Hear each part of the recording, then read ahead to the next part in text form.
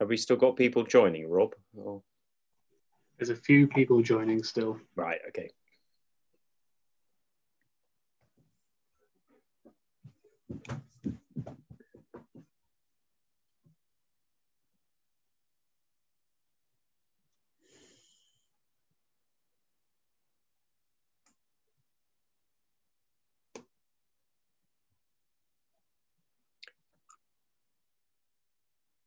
Well, while the last people are connecting in, um, I just, I'll just uh, give you a welcome.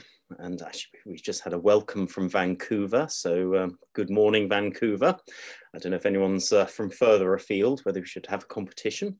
Um, but it's great to see people coming from, oh, Chicago. It's going to get competitive now. Um, uh, I'll stop this before I get. Oh, Michigan. Okay. Uh, Sheffield quality. That's all I'm going to say. Um, anyway, I'm not going to pursue this one because we could go all evening. Um, so, well, well, welcome to you all for, from near or far. Um, and thanks for joining us for the third in the current uh, series of lectures from the Society of, uh, for Church Archaeology. Um, I'm very glad to welcome you as the chair. Um, just to give you a couple of words of housekeeping etiquette, um, if you haven't joined us before. Um, if you could please make sure your microphones are switched off just in case you get that, that urgent call or the dog barks or whatever.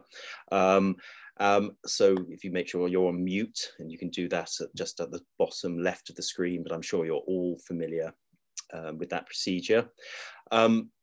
When our speaker, who I'll introduce in a moment, is talking, feel free to think of exciting, interesting, probing, difficult questions. Um, but uh, the way we organize this is if you put your question into the chat box, um, and then at the end, Rob, who's sort of coordinating all the difficult uh, sort of technological side of this, will then read out the questions to Jackie, and that way we can sort of uh, get hopefully get through them all um, in, a, in a timely manner. So that's how we will run things. Um, as most of you hopefully know, um, our society is here to promote the study of the church, the, particularly the archaeology of the church and sort of topics related to the church. So, um, you know, if you aren't a member but feel like finding out more about our society, please visit the web page and you can find out about all our activities and uh, publications and that sort of thing. So we would encourage you to, to join the society. Um, but you know whether you're a member or not, uh, we hope you enjoy our lectures. Um, it makes it worthwhile for our part, knowing that we have so many people, you know, tuning in and hopefully finding them entertaining and educational. So now I've done the, you know, the obligatory plug. Um, I will sort of introduce our speaker, who I suspect is known to many of you. Tonight we have uh, Jackie Hall speaking. Um, now Jackie is a consultant archaeologist, but uh, particularly pertinent to the talk she's giving tonight. She is the cathedral archaeologist for two of our finest cathedrals, uh, which probably if you place them end to end would just about block the Suez Canal um, or not. I'm not quite sure about that one, probably not quite actually.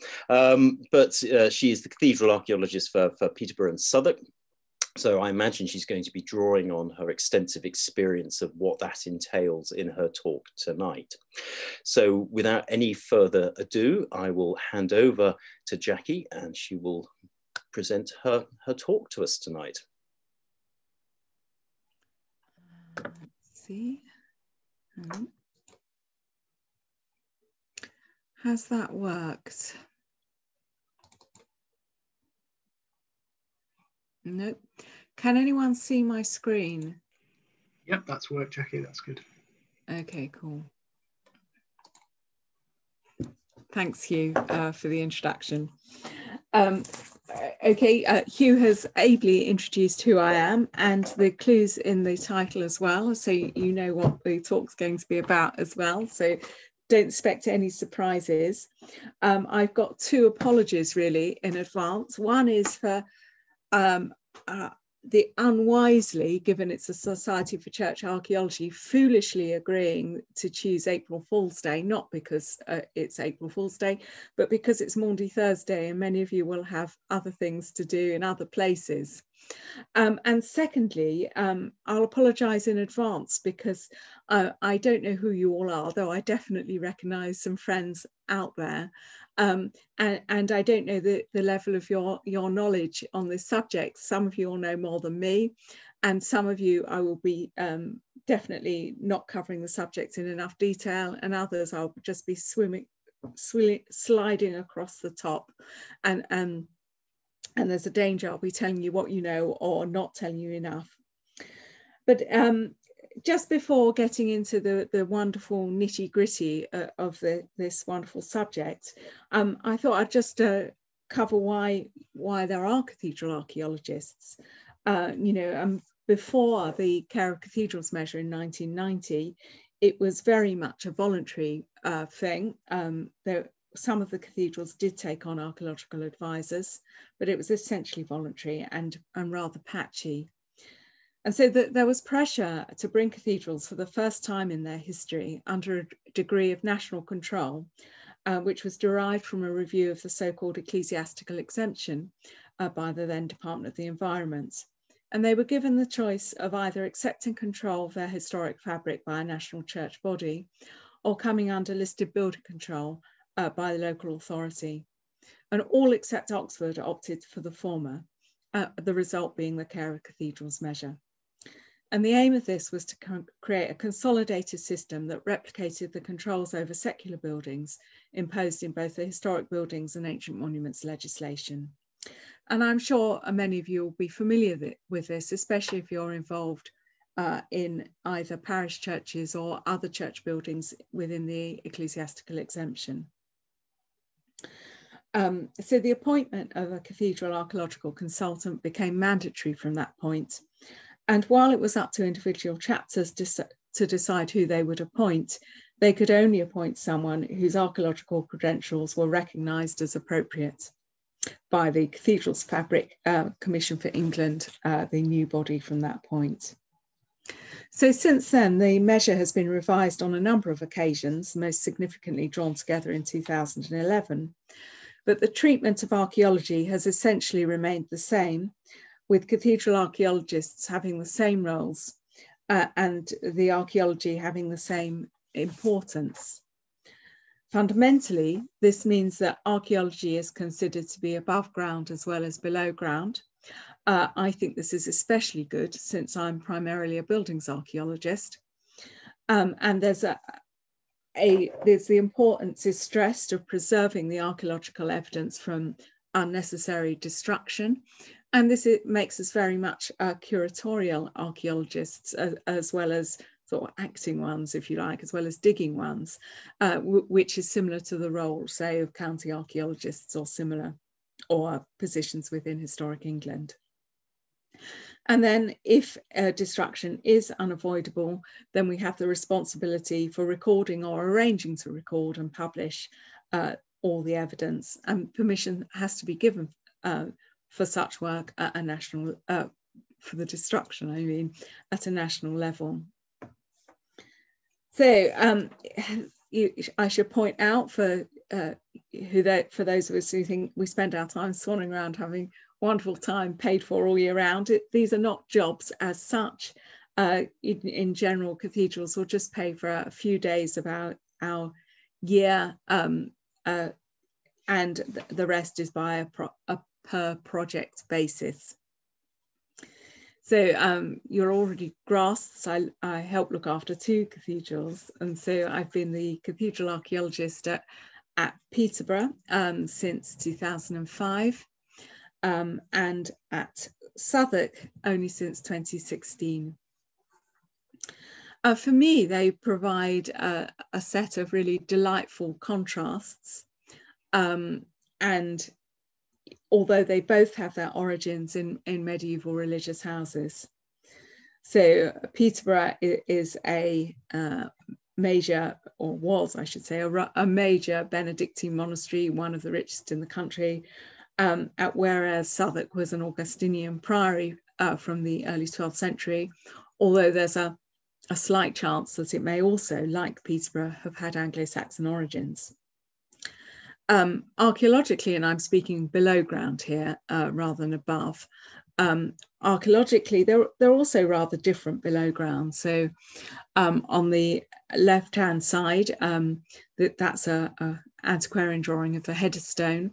And it, at Peterborough, it's all about the Anglo-Saxons, uh, whether from the uh, 7th century the or, or the refoundation in the 10th and uh, there's a lot of remains and quite a lot of loose stone as well. Whereas at Southwark uh, Cathedral, just like the rest of Southwark, it's all about the Romans. If you dig deep enough, you'll find them. Um, here is uh, uh, the pictures of a couple of sculptures found at the bottom of a, a well um, at, at actually within the cathedral itself, but there are also traces of roads and other um, and other structures in the few times that it's been possible to, to dig that deep. Architecturally, they're also different. At Peterborough, it's, it's mainly Romanesque and on quite a massive scale. Uh, that's just um, looking at the church rather than more widely. Um, whereas at uh, Southwark, here shown on the left, uh, it's all about, it's all mainly early Gothic on a much smaller scale and actually really rather dainty and lovely. Peterborough is set within this huge historic precincts, um, largely still intact, though not all within the ownership of the, the uh, church anymore. Um, and with a really tiny medieval town that didn't grow even to its present state uh, size until after the coming of the railways. Well, you could hardly get more different. Um, Southwark, uh, the Priory of St Mary Overy, uh, only had small precincts even when they were visible. Now it's a tiny churchyard sort of nestled within the sort of massive infrastructure of the uh, uh, of London. Um, you know, once in the suburbs of London, on um, still you know close by the London Bridge, which it still is. Um, now really close to the heart of, of this metropolis. And in their post-medieval history is also very different. Uh, Peterborough became a cathedral uh, almost as soon as it had been dissolved, whereas uh, the, the priory of St Mary Overy became a parish church and uh, only upgraded to being a cathedral in 1905.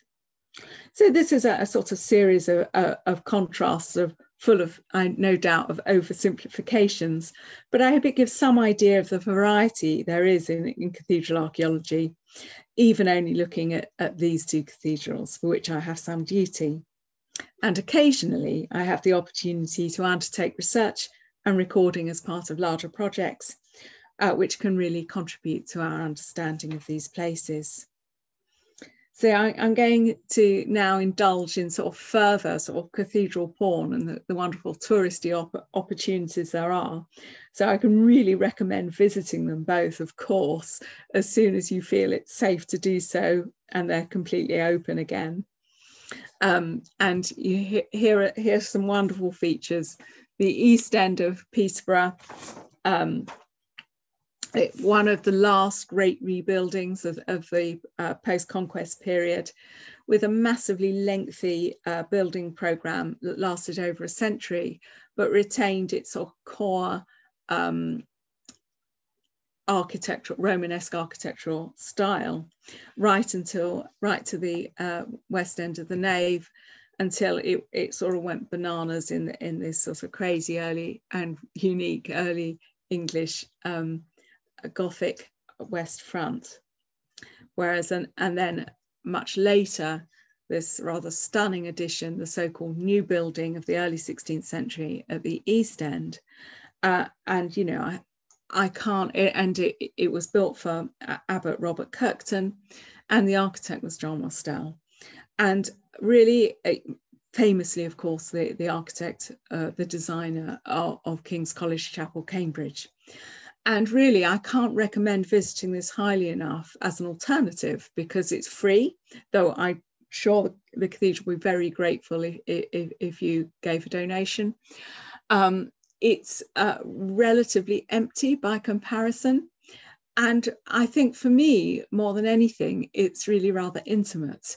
It's not a towering uh, building.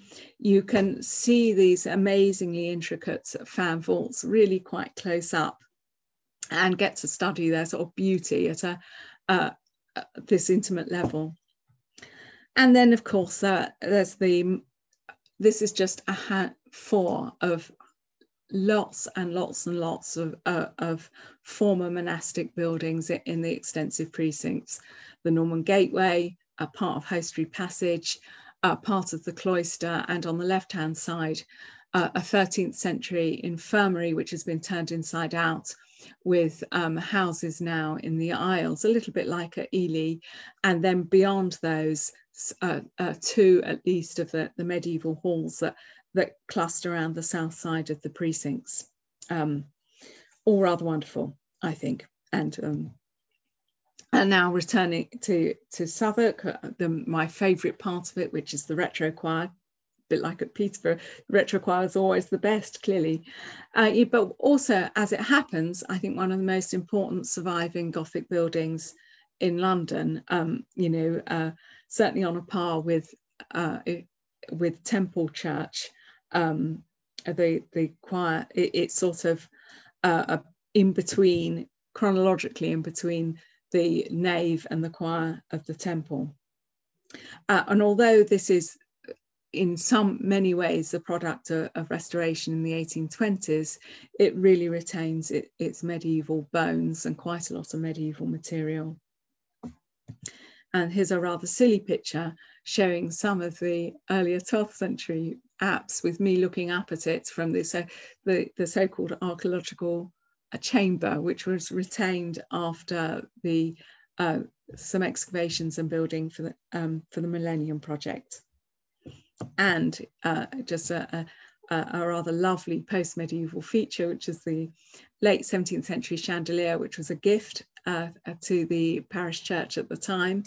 It's still in regular use and it comes down a few times a year uh, to, uh, to, be um, for, for, candles to be lit. But this is when it was being put up after the rehanging of the bells and the two vergers are um, standing there. They're looking a bit bemused, but they really do know what they're doing. And you can see it all laid out really carefully. And in the ceiling um, designed by George Pace, there's the reuse of um, a, a, selection of a rather wonderful set of carved uh, late 15th century bosses. So that's the end of the, the tourism bit. Um, so, but I hope it encourages you to go and visit because it's so worth it. And, and there's a lot of complexity uh, to unravel for those so minded. So now I want to turn and to look in, in a little bit of detail at just a few of the projects that have taken place in recent years at Southwark and Peterborough. For Southwark, I've chosen the one really major project that's taken place since I started, which is namely repairs to the East End. And at Peterborough, I've chosen a little bit of work that I've recently undertaken for the corpus of, of Anglo-Saxon stone sculpture. And if you've um, heard a little bit of this before, I apologise profusely. Um, but hey, you know, there'll be new things for everyone somewhere.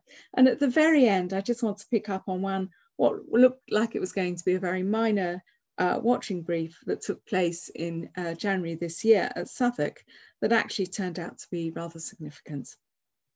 So first, looking at Southwark first then. So major repairs took place on the East End between 2017 and 2019, mainly replacements of the copper roof covering, but also fairly significant masonry repairs on the exterior. So it was all above ground um, and fairly recent, as we shall see. For me, uh, firstly, it was a great opportunity to understand the building history, both through archival research uh, and new recording from the scaffolding. Secondly, working closely with the architect Kelly Christ, it was an opportunity to contribute to the best possible conservation outcome through our joint work on developing a stone policy and implementing that in the repair project. I've already mentioned the interior of the retrochoir and the choir of finer early Gothic architecture. Uh, yes, um, probably erected shortly after the fire of 1212, which destroyed so many buildings in Southwark. Um, as we shall see, uh, as we see in the interior today, it's subject of considerable restoration, particularly in the higher levels, uh, carried out under the auspices of local architect and antiquarian George Gwilt Jr. And he really is the hero of this church building. George Gwilt's work took place in two major phases um, after a plan to demolish the entire church had been abandoned, fortunately the choir in 1822 to 3 and the retro choir a decade later. Along the way, parts of the building were lost. So the chapel of Mary Magdalene was taken down in 1822, Mary Magdalene, I should say, um, Cambridge influencer, sorry. Uh, the, the Lady Chapel, the medieval Lady Chapel, which later became known as the, uh, the Bishop's Chapel, uh, was taken down uh, uh, when the London Bridge was moved upstream. Um, and what else are lost? Uh, houses along the south side of, of, the choir were also lost at this time, and, and some others actually were lost on the north side as well, but at other periods.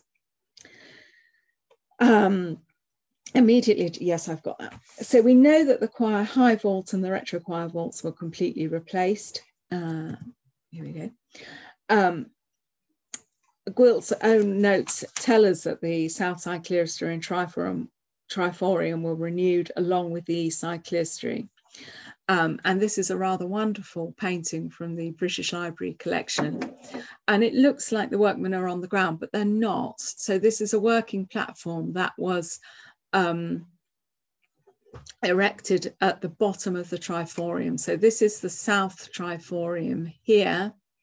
And I think this is probably all new as it happens. This is the springing of the clerestory here. Um, and it looks completely solid and I'm sure it's a good place to work.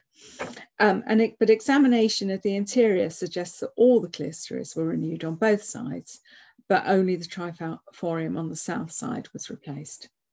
The roofs, of course, were completely replaced in, and in the choir using cast iron trusses and this is one of their earliest uses in an ecclesiastical context.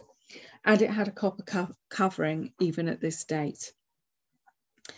And if this seems like pretty major interventions to save the building, then on the exterior, the restoration was even more pronounced, with very little medieval fabric at all surviving. So this is one of Gwilt's marvellous pre-restoration drawings. Uh, uh, this is the south side of the choir. And you can see something of the rather abysmal state it was in with a lot of refacing in brick and on what looks like some plaster work and not very much stone at all. And uh, we can begin to understand why um, why Gwilt needed to reface it more or less in its entirety. And this is needed because as, as any of you who have ever worked in London will, will know, um, the, um, the choices of, of stonework in, in, the medieval period were fairly poor.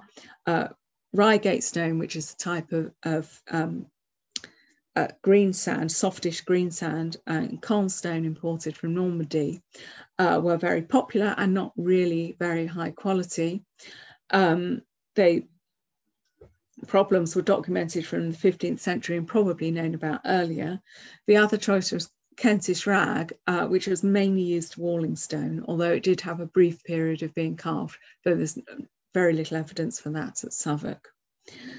Um, Gwilt um, refers to it as being the stone of the county, and thus saying it's, you know, he can't build in this, it's just not suitable. We know from the account, uh, from the minutes that the um, nave, uh, the nave was faced in brick in the early 17th century, uh, presumably like uh, this. Um,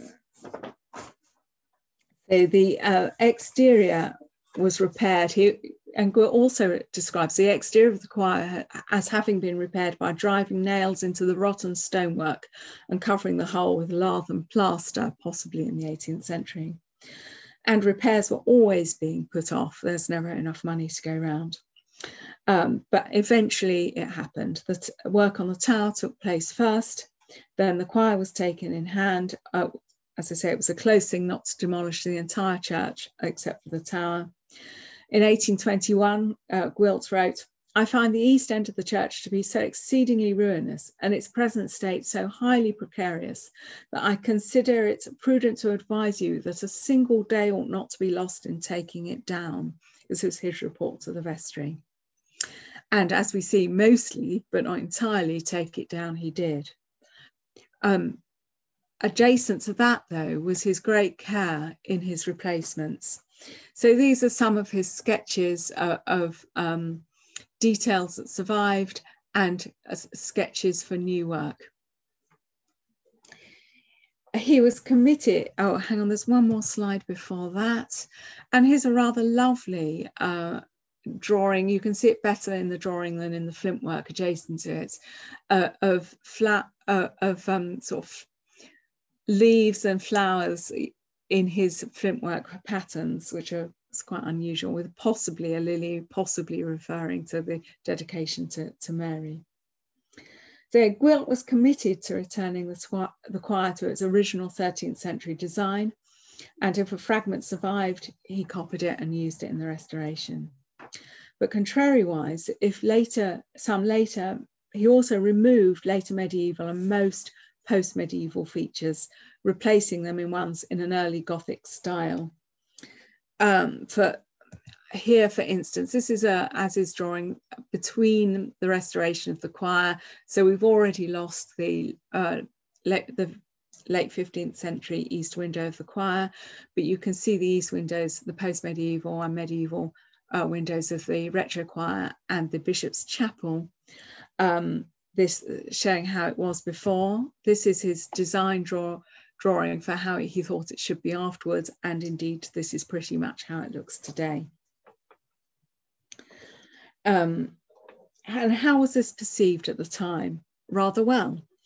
In uh, William Taylor's rather whimsical account of the Priory of St Mary Overy, he describes Gwilt's work as one of the finest restorations in the kingdom, uh, a view that's repeated in works on Southwark uh, throughout the 19th century. And this is, and despite predating really either the Oxford movement or um, uh, Pugin, Pugin's work, this is very much a, of a piece of 19th century philosophy of restoration. The building should all be a cohesive whole and clearly of one specific period, a medieval period, with no distracting elements of a different style. Uh, and although he made some changes in the design, he kept as much of the medieval fabric as he could. Viewed from now, arguably rather more than half of the retro choir and choir belong to Gwilt rather than to the medieval builders including almost all of the exterior uh, facing with the exception of parts of the flying buttresses. So for, uh, for Kelly and I then, uh, back in 2017, the question was, what were we conserving? A medieval building or a 19th century one? Especially given its, let's face it, Victorian appearance, even though it predates uh, Queen Victoria. Um, and, and as it Notably, especially on the exterior, Gwilt did not use the materials used by the medieval buildings, builders. We've already discussed why he couldn't use the medieval stone, but um, replacing it all in ashlar would also have cost too much money. And so instead, he used flint and sandstone. And we should remember at this time, there was a beginning to be a choice, an enormous choice of stones coming by canal into London. And in his uh, unpublished notes, he says, the use of land flints for the outside has been admired by many and objected to by a few, but it was an expedient resorted to as a substitute for brickwork, to which I would otherwise have been compelled to adopt. It was an experiment, and although it cannot be said to have not failed, it would have succeeded better if browner flints had been selected, so as to form a less contrast with the richer tone of masonry in other parts sorry, in other parts, these flints abound in, in Surrey upon the high ground. So, uh, and, and what we have here, what he, this comment was made in between the the choir being finished and his work on on the retro choir and so the the choir on the left you can see you've got these very sort of silvery flints in a a sort of rich yellow um, stonework. And so you can tell that he made this effort um, to, to choose browner flints for his later work on the retro choir, though unfortunately the stone that was coming from the quarries that he'd chosen was then paler, so he still has this massive contrast between flints and, uh, and stonework. And he doesn't comment on either the stone type or and, and it's not mentioned the ashlar stone that is and that's not mentioned in the restoration minutes either. But we have a clue in his proposal to rebuild the nave in 1826, which was not accepted, where he says he wishes to use materials of nearly the same quality as the works of the choir, including for the piers, that is the piers of the nave he never built, uh, hard and durable Bramley fall, fall stone. Um, the, name Bramley Fall is now used only for particular quarries using gritstone to the northeast of Leeds. But in the late 18th and 19th century, the term was widely used to describe the sandstones produced by several other quarries in the rough rock outcrop of the area. So, and this was borne out by what we could see in the choir and the retro choir from the ground, i.e. that uh, it was principally a sandstone. And, uh, and this started our search for the for the right stones to use, um, i.e. Uh, West Yorkshire was our starting point. Uh, and the, our underlying premise was that on the exterior, this was essentially Gwilt's building and that we shouldn't try to uh, pretend it was a medieval building on the exterior. And really, with the sole exception of um, some of the flying buttresses, uh, some of the material in the flying buttresses, uh, which are where there's a, a, great deal of medieval white uh, Kentish rag, um, though with some post-medieval Portland as well. Um, you know, it, it was all of Gwilt's or later period. So, uh, and you, going along with um, current best practice in terms of developing stone policies, uh, we should we were aiming to match our new the new stone that was required to the building, also taking account of petrology, porosity, permeability, uh, compression. And as you've seen, research took place on both archival and geological fronts, but um, both of those tended to identify the stone as a West Yorkshire sandstone, uh, almost certainly from the coal measures.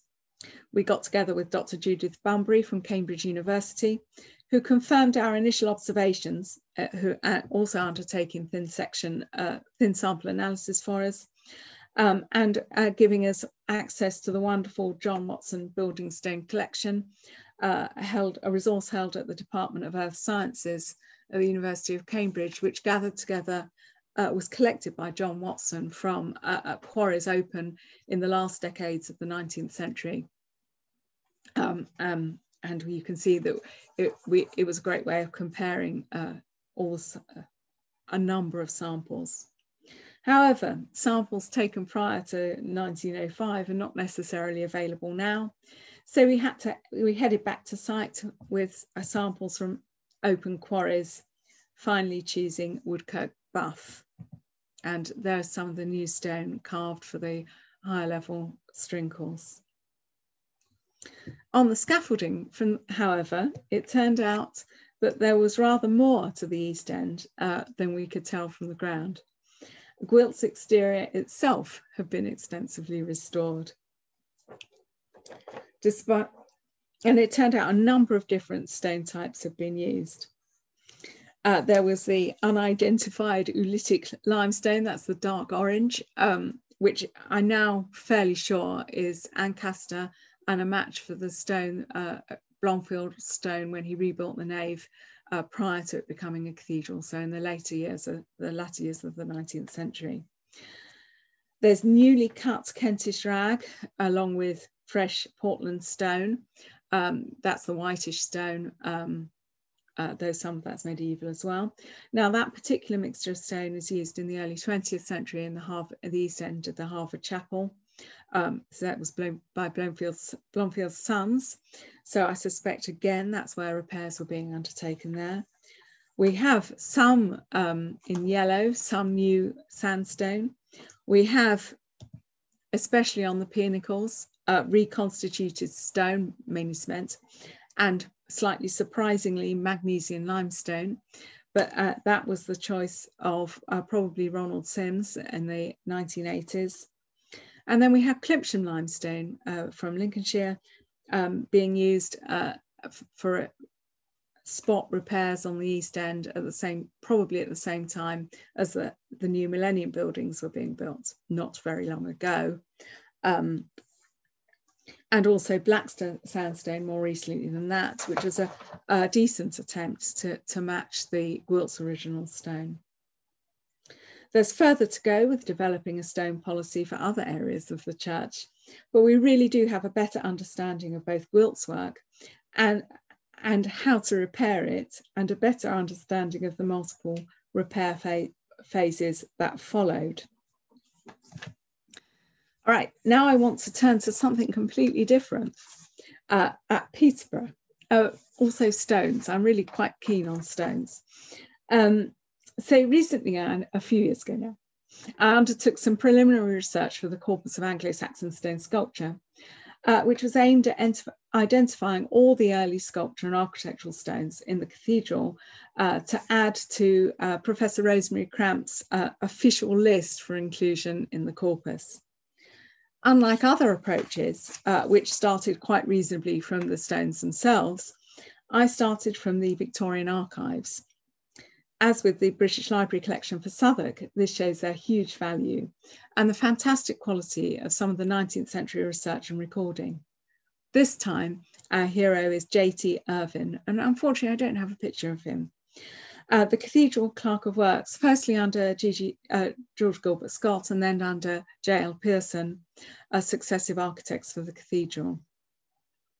M many, many of the stones that I identified uh, this method won't make it into the Anglo-Saxon corpus. Uh, and that's either because they relate not to 1066, a key date in the history of the nation, but to 1116, a key date in the material history of the Benedictine Abbey, or they're not sufficiently sculptural. It's well known that Peterborough was one of the very last great churches to be rebuilt after the, the conquest, a consequence of both the political leanings of the monks and the imposition of a particularly unsympathetic Norman abbot, who was also, unfortunately, long lived. Only by the early 12th century had the rebuilding begun. In some of the cloistral buildings, while the rebuilding of the church had to await a fortuitous fire in 1116 caused by the abbot rashly cursing the monastery and commending it to the devil.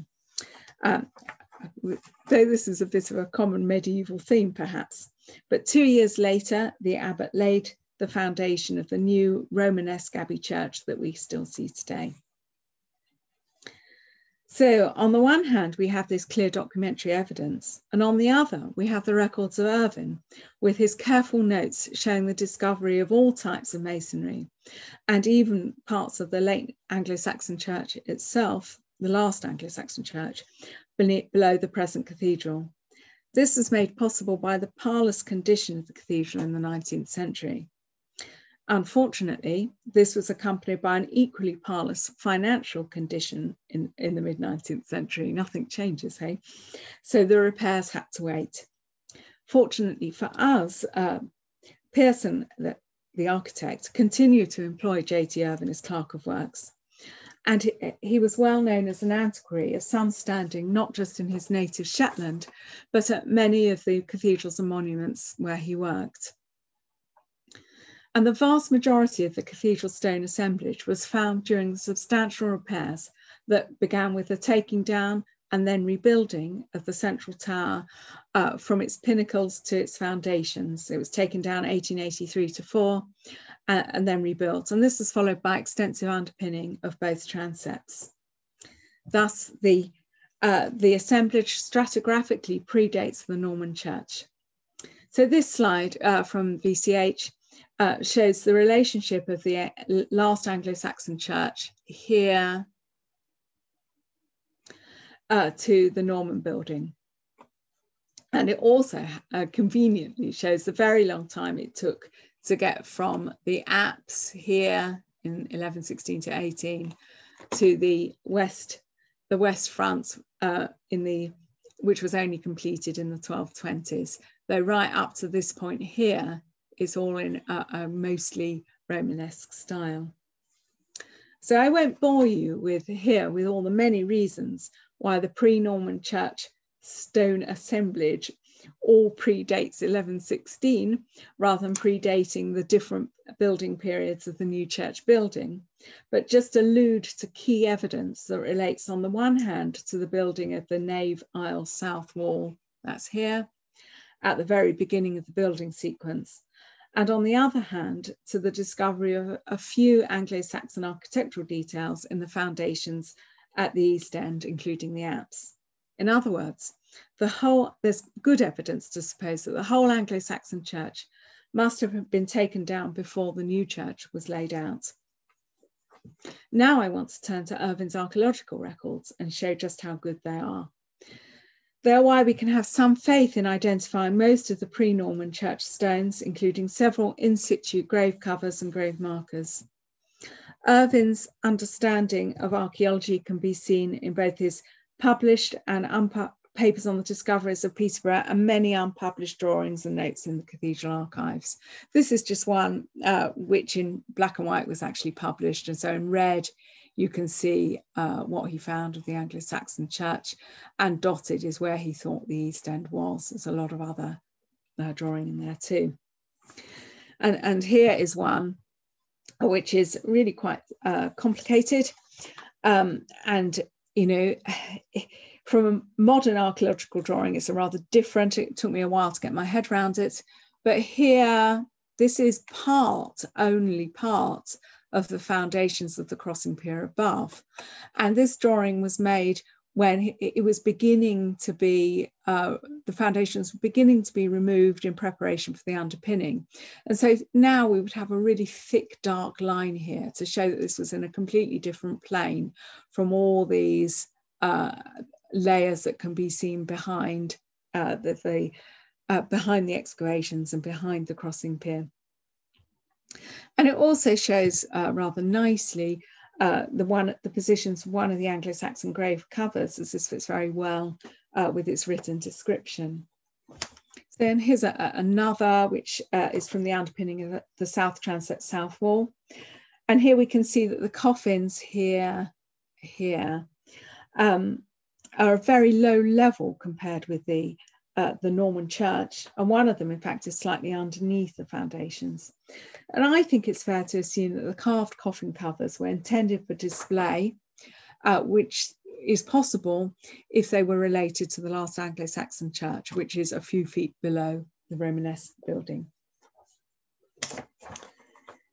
Uh, what have we got here? Here are another two drawings. And I've included these two just to show the care he took both in drawing fragments and recording where they came from. At the top of the left-hand drawing, Irvine tells us that the stone was found during underpinning of the gable wall of the south transept. And lower down, that the colour was very strong when first discovered, but has greatly faded. He also notes that the stone may be Saxon in date, but thinks that the painting is Norman. And these are all wonderful observations and easy to tell what he saw from what he thinks. On the right hand of the drawing, he simply tells us that the stone was found under the northwest, uh, that's sorry, the right hand drawing, the northwest pier of the crossing, which I've already shown you. Using Irvine is not entirely unproblematic. There are things that he did not record uh, and and for which there are stones uh, which he for which no drawing appear and, and some for which no published account appears. There are clear biases in what's published and unpublished. Skeletons are barely mentioned and never drawn. Uh, fragments found early on in the excavations are much more likely to have a published drawn record than those found later on. Um, probably because he had a day job and as the finds mounted, the significance of a single item must have been seen as less. He was also more concerned with the architecture of the church and especially the in situ foundations than he was with the memorials. However, because of the excellence of Irvine's unpublished papers, the Irvine papers in the Cathedral Library, uh, a selection of papers held in the Northamptonshire Record Office, and a very important little diary held at uh, Cambridge University Library, These biases, apart from the lack of bodies, can largely be accounted for. Um, I'm just going to take a look at one group of pre-1116 material very briefly. So I'm going to be ignoring sculpture like this and architectural stone like this, and instead concentrate on the cemetery. Um, the cemetery, I think, is a particular interest um, because nearly all the material was largely found in situ. And to start with, uh, oh, sorry, here we are, some in situ material. Um, okay, so to start with, um, da, da, da. I'm losing my place. I was busily uh, deleting slides because it went on far too long. So if I go to here, uh, you'll see that the, um, I've deleted one slide too many, so I'll go back in a moment.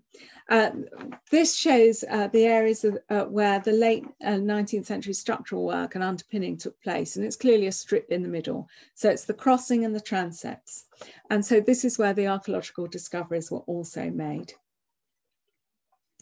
Um, and we can uh, um, we can see that the cemetery in 1116 was actually quite a long way north uh, of the church, which is here.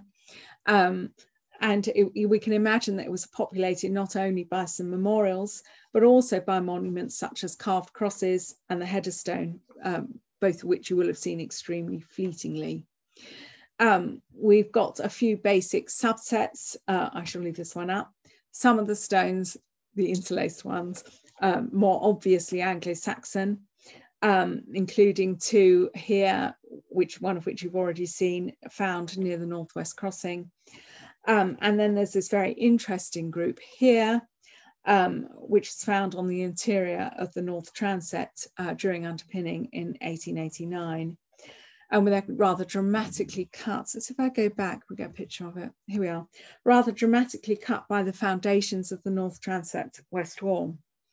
Um, the interlaced two of them rather suggest they're late Saxon, while the remaining three, completely plain, are surely Saxon by association. Irvine makes a point of telling us that there were no coffins. Alas, we do not know what he did with the bones below, so there's no possibility of testing to see if these closely associated covers re represent a familial group or not. Um, we can also see that two of the stones have in situ footstones, and doubtless they also had headstones. The footstone of the cover with the inhabited cross was rediscovered only a few years ago, uh, where it was found to be a reused Roman ansate slab. And, and thanks to Richard Gemmer and, and um, Martin Henig for that. Um, and here's a summary of the situation. Here we are so far. Now I want to add to this whole group of stones that were actually a, a group that was actually found some distance away by me in 2005 reused in a wall of Commonwealth date next to the old deanery. And they're a mixture of um, grave covers or, or, possibly coffin cover fragments.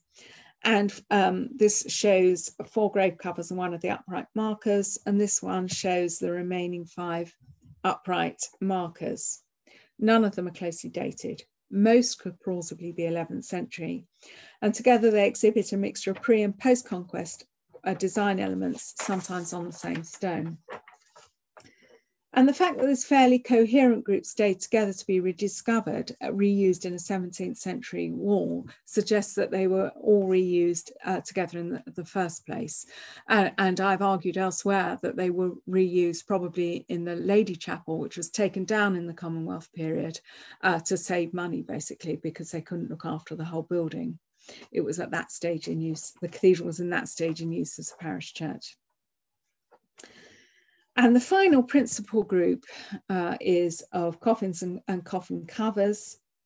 Uh, this is a tiny one, only just only over two foot long, uh, but I don't know exactly where it came from, probably the North Transept. And, and then there's the group of um, in situ coffins and coffin covers. Here's two of the four surviving the Victorian crypt that allows us to access the Anglo-Saxon church foundations today. Irvine saw a little more of them than we can now. The two clearly had covers, flat or barely coped with a single uh, central ridge. Six more were found in the south transept chapels in Irvine's Hunts for the east end of the Saxon church. And at the south end of the south transept, five further coffins were found. I'm sure I'm only showing you two here, of which two were built and three carved from a single stone. And one had coffin had two covers, not sure why. In all these cases, the pre-1116 date is confirmed by the depth of the coffins or, or their clear stratigraphic relationship. And although one-to-one -one identification may elude us, it's likely that some of the coffin and coffin cover group can be identified with, with the ones that, that now lie uh, east of the south transept. And here's a sort of summary of the situation. Uh, in green, uh, that's the coffins, and in uh, coffins and coffin covers, and in pink, it's um, memorials only, so just just coffin, just grave covers. And it's quite interesting that the clearly Anglo-Saxon examples um, are actually all to the north and actually quite far from the uh, Anglo-Saxon church itself, showing that it was a large uh, and rather popular, well-used cemetery. Um, whereas um, the, the group, the coffins themselves are gathered around the, Anglo the last Anglo-Saxon church itself, which is quite interesting. One wonders if a number uh, of earlier memorials were turfed out to make room. Um, so, uh, it, and it's what's very interesting, I think, about this is certainly conventional to consider that the widespread production of coffins belongs to the post conquest period. And given the paucity of pre conquest coffins at other sites, it's at least legitimate to consider that the Peterborough coffins are also post conquest. And this would lead to two conclusions. First, that this is the largest and most tightly dated assemblage of early coffins in the country. And secondly, if this is true, there's a major change in burial practice pre and post conquest. I don't think this is too circular an argument, though it may be, uh, with the burials of the elites gathered tightly around the church in the later 11th century and found in coffins, but with those coffins carved with considerably less decorative flair than their predecessors. So I hope you can at least see something of the potential of this material, far more work to do on it. And so, uh, and just before ending, I just want to um, comment and bring and uh, talk about very briefly um, a, a, little, a tiny, tiny watching brief at Southwark uh, for the for a new ramp. And at the same time as that happened, uh, the Prior's door just around the corner uh, was cleaned. So um, this, so you can see from here with the uh, handy cathedral cat as a scale, what a very small area this is. And uh, just next to the cat is, a very, very small inspection hole left for uh, us by Arthur Blomfield uh, in the 1890s, uh, which revealed um, some uh, some tiles at, at, the end of tile floor. And when this um, the the current floor was taken up to make a ramp, uh, these be, this became more obvious. In the first place, we could see a, a step uh, here and a bunch of tiles butted against it, um, all reused, dating from the 14th century to the into the 16th century only one decorative one. So clearly uh, um, bits of payment reused to make a new floor in, in, at some unspecified post-medieval period. Um, but even more interesting, um, from there was really a ton of archaeology. And what surprised me, it was really stupid, you know, foundations under under art, who would have guessed it? Um, but these foundations here, which are of the 12th, uh, re relate to the 12th century building, uh, uh, are 76 centimetres above the level of the medieval nave floor, thus conclusively proving that just that uh, the level of the North Transept is approximately at the medieval level, um, uh, which is something I really doubted because of the uh, really substantial um, restorations and rebuildings it's been subject to. Um, and what was particularly interesting, we've got a whole bunch of um, deposits here. So we've got 12th century a sleeper foundation here. Here, cutting through this is um, the foundations of, of, the late 14th century um, crossing tower, which actually puts to bed a theory, uh, not all of a theory, half of a theory about the crossing tower um, actually having a Romanesque core. Um, uh, but it, it, seems clear that it was completely taken down and rebuilt from the base up. Though I dare say that the Romanesque crossing tower is responsible, was responsible for the slightly odd proportions of the early Gothic uh, choir and nave. Also of considerable interest is this. This, by the way, is all modern, but this is, is, the, is the dark earth uh, that, that well-known post-Roman deposit that here, I'm sure must indicate the level of natural topography when the priory was founded in the early 12th century. And what's particularly interesting and sort of surprising about it is this, uh, I'm pretty sure this is the highest recorded level locally, though this requires more investigation. It falls off very sharply on the west side. You can't quite see it, it's the other side of here. Um, and um, which makes sense of this bit. Um, the foundation here is typically sort of uh, earth and, and stone rammed together, uh, whereas the western edge is mortared because it has to hold up because the ground is falling steeply off to the west, which makes sense of the, the much lower uh, medieval nave floor. And it almost certainly continued uh, rising to the east where the, uh, the choir is at a really substantially higher level again. So we can have this impression very much of, um, though things are relative, we're only still talking a few meters above sea level, uh, of a church really standing on a hill um, with, with the overlooking the Thames to the north and London Bridge uh, to the east. Um, and uh, that was really very interesting.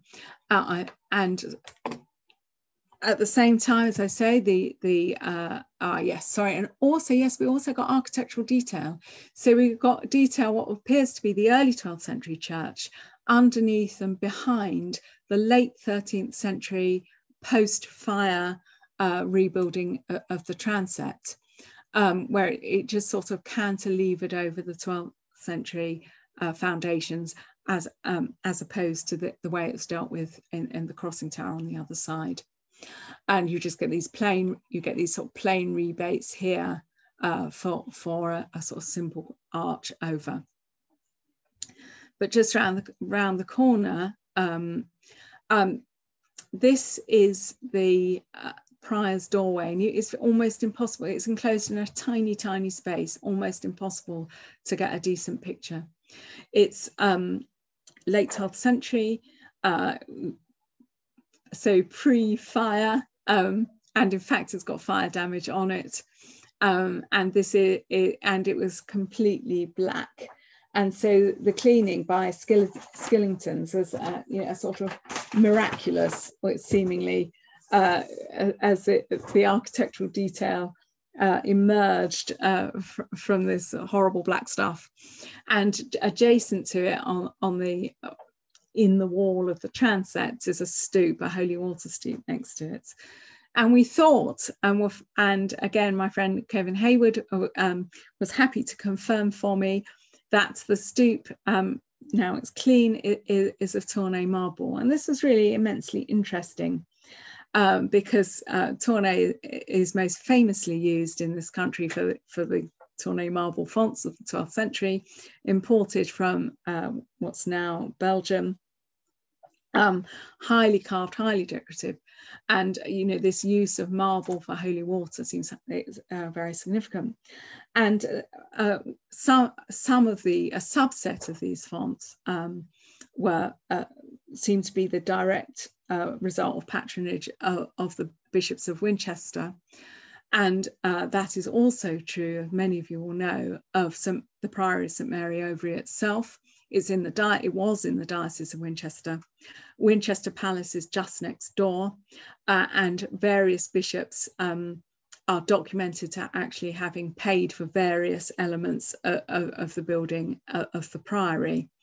Um, and so you you know I, I I wouldn't mind making a, a moderately sized bet if I were a betting woman that uh, perhaps the the um, the the priory actually had one of these uh, marvelous. Hang on, my uh, uh, sorry, had actually had one of these marvelous fonts um, this is the one at Winchester Cathedral itself. Um, uh, and though this is a little earlier than, than our stoop, um, you, you can imagine how marvelous that would be. And so, um, and this slightly uh, oddly using a, a, slide from Winchester and not from either Peterborough or Southwark uh, brings me to the end of my talk. And I've I feel I've barely scratched the surface of each of these studies, so I may have bored you. Um, and you can see, I hope you can see something of the value and complexity of cathedral archaeology uh, and whether that's going to be found above ground or below ground or in dusty archives or very, very tiny watching briefs. Thank you very much. Thank you very much, Jackie. That was fantastic. Um, I'm not going to ask whether the uh, the ending on Winchester is a punt for a new cathedral to add to your collection. but, but um, no, that that was really interesting, and I think what your talk did was show how varied the job of a cathedral archaeologist is. I mean, partly part of it's out of your control. It's whatever's going on, and but it's the fact you're dealing with building fabric, below ground archaeology, and then getting some research done as well. So I mean, it really shows the complexity of the job. Um, that perhaps isn't always apparent uh, to, to, people. So that was really great. I really enjoyed that. Um, I know we, we have some questions. Um, I know there's at least one pressing cat question coming up, uh, but um, so but um, if anyone still would like to ask a question, if you could type it into the chat box, and we should have uh, time to get to it. So, um, Rob, do we have one to, to kick off with? I appreciate time is a little tight. No, that's good. We do. We've got a couple of questions. Um, the first question is uh, There are legendary references to the early foundation of the church at Southwark, and it appears to be mentioned in Domesday. Do you have any thoughts on this? Um, well, I, am ashamed to say I'm a bit of a need to know archaeologist, and uh, this isn't something I have. Um, it's also something I've been trying to avoid because, because the references seem so ephemeral.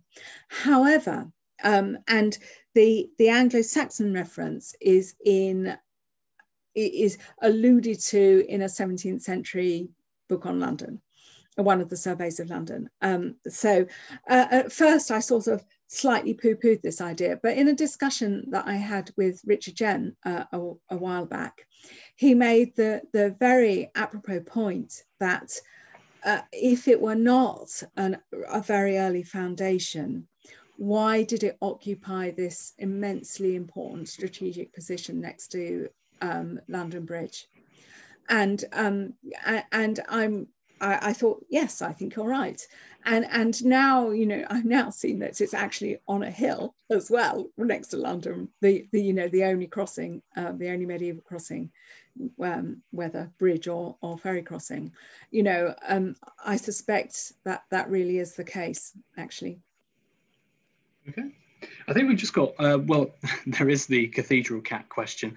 Uh, is are there any other cathedral cats? Are they common? I know there's, I know there's one at Durham. I've seen one at Durham.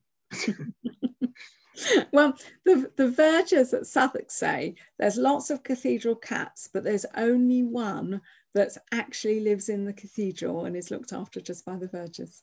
I don't know if that's true. There's one one last question, which I think is a good one. It says, "Why don't modern restorations bypass Victorian work to uncover the original cathedral?"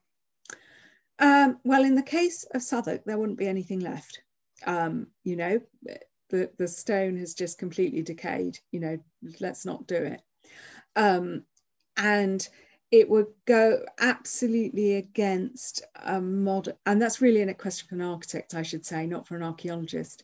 Um, but that really goes against modern conservation philosophy that you don't uh, there, I mean, there are rare occasions when you get rid of, um, oh, I don't know, the 19th century um, coal shed or something like that. Um, but you, you, the restorations themselves are part of the, the history and archaeology of these buildings, and they were done for a reason. Uh, they, they weren't, um, although they were often over restored. If they have been over restored, there won't be anything medieval left anyway. And but these restorations started um, because the buildings are falling down. You know. Uh,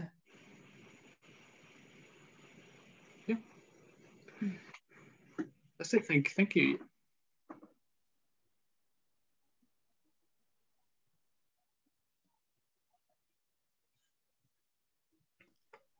Right, sorry. I think both Rob and myself are trying to unmute me, so we get, we're playing the game of muting each other. Um, so, well, thank, thank you very much, Jackie. And I would just like to lead a virtual round of applause for you. So thank you very much. Um, I just want to say, right, just for the, the end, uh, just to give you notice of our next lecture, which is taking place in a month's time on the 5th of April, it's not the 5th of April, 5th of May, um, and that's by Dr. Michael Carter, who's going to be talking on the topic of Byland Abbey using dead to bring a monastery to life. So that sounds uh, very intriguing. Um, but um, in the meantime, I'd like you to thank you all for attending. Um, we really do appreciate it. I'd like to thank our speaker one final time, and I hope you can join us all, you know, same time next month. Thank you.